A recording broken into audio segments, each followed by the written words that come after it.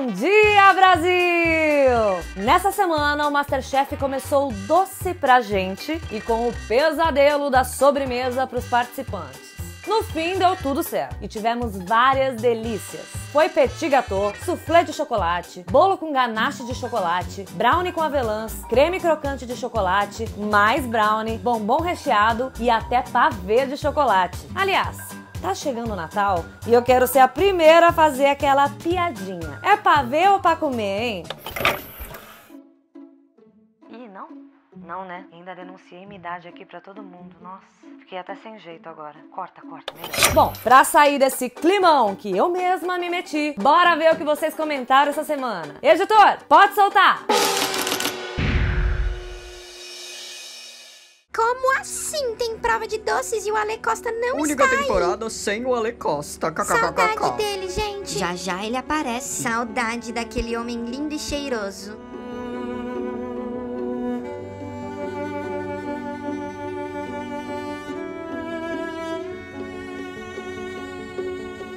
Acho que o Ale Costa vai aparecer a qualquer momento. Então, por favor, recebam o chocolatier e dono da Cacau Show, Ale Costa.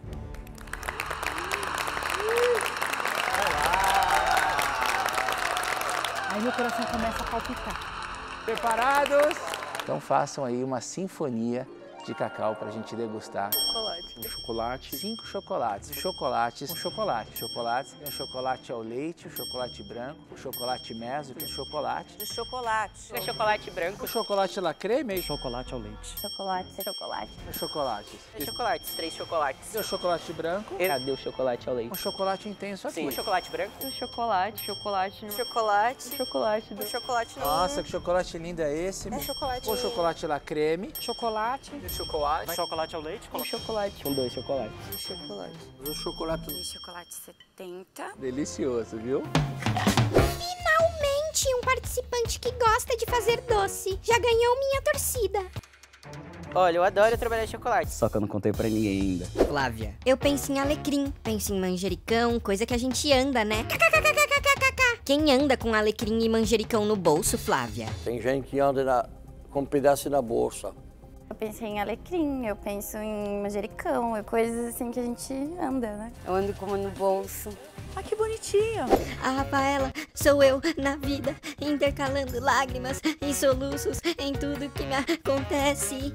Eu choro, choro bastante. Então, é muito importante que você se. Eu também já chorei pra caramba. Vamos-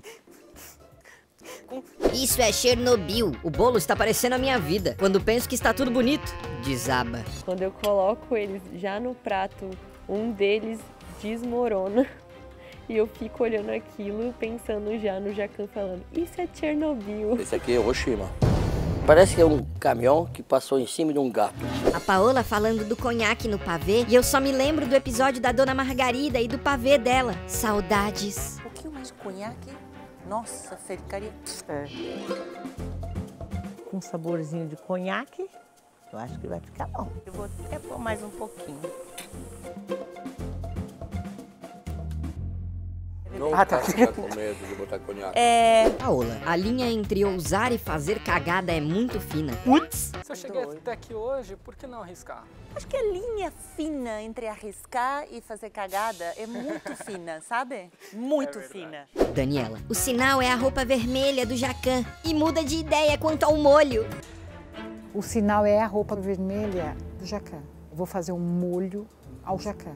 Nossa, mas que maravilhoso essa luz que a Paula deu para a Flávia. Oh! Vem uma luz. O Fogaça mudou o foco de assustar a Paola. E agora ele só assusta espinafre. Sou crua. Você abaixa. Ah! Aí você assusta. Tem mas... alguém que assustou aqui ao longo das temporadas, meu. Que frase poética. Grande filósofo Jacan. Às vezes eu, você pode passar dentro da banheira, mas se, se não liga a água, você não vai tomar banho. Não é? Chuchar, chuchar a trouxinha. Eu queria fazer um molhinho pra chuchar a trouxinha. Chuchar pensei- a trouxinha. Se é chuchar. Chuchar a trouxinha. Chuchar, sabe?